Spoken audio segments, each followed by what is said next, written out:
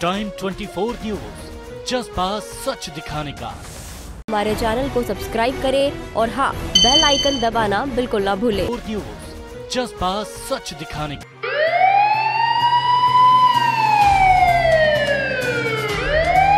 बुलंदशहर में एक बार मुठभेड़। चेकिंग कर रही पुलिस की कार सवार बदमाशों से हुई मुठभेड़।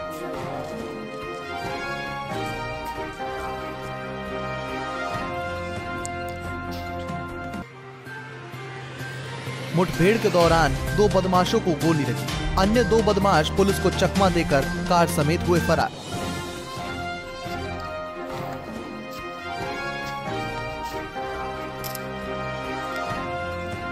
पच्चीस पच्चीस हज़ार के इनामी बताए जा रहे हैं।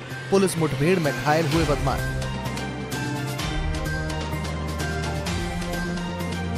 अपने साथियों के साथ मिलकर किसी बड़ी घटना को अंजाम देने जा रहे थे कार सवार बदमाश।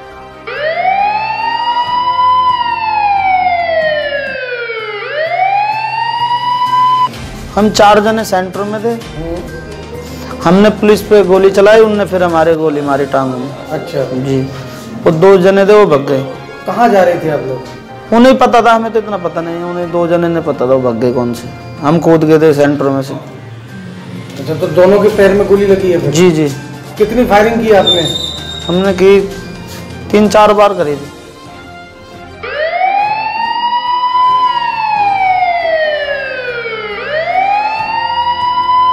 आज जो है इंस्पेक्टर खुर्जा नगर और उनकी टीम जो है वास्ते जो है शांति व्यवस्था के लिए चेकिंग हेतु निकली थी। तो खबरा रोड की तरफ़ से जो है वो चेकिंग कर रहे थे तो खबरा की तरफ़ से एक सेंट्रो गाड़ी आई जिसको टॉर्च का इशारा दे के रुकने का इशारा किया।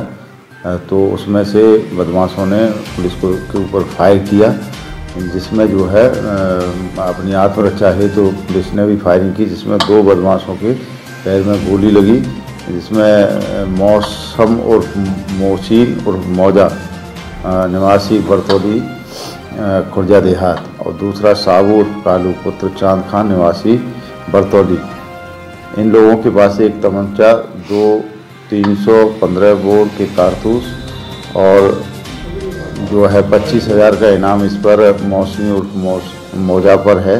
और इनसे पूछताछ में पता पड़ा कि रईस और फुरकान दो जो सेंट्रो गाड़ी में थे, वो उसे लेके भागे जिसके संबंध में चेकिंग कराई जा रही है।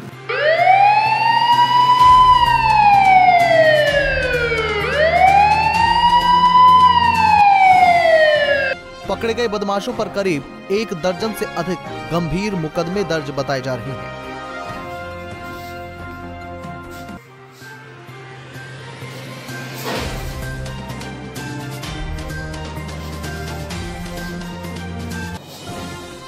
बुलंदशहर की खुर्जा पुलिस की खुर्जा खबरा रोड शिवम स्कूल के पास हुई मुठभेड़।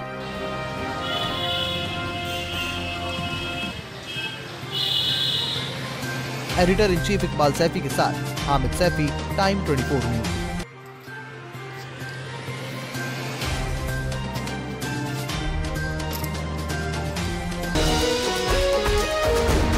Time 24 news, जज्बा सच दिखाने का।